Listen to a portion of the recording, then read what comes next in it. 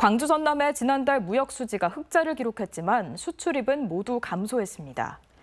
광주 본부 세관이 발표한 6월 수출입 동향을 보면 광주의 수출은 14억 500만 달러로 지난해 같은 기간에 비해 9.8% 줄었고 수입은 10.1% 감소한 걸로 집계됐습니다.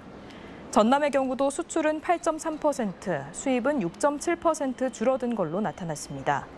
무역 수지는 광주의 경우 8억 9,700만 달러 흑자, 전남은 2억 4,700만 달러 흑자를 기록했습니다.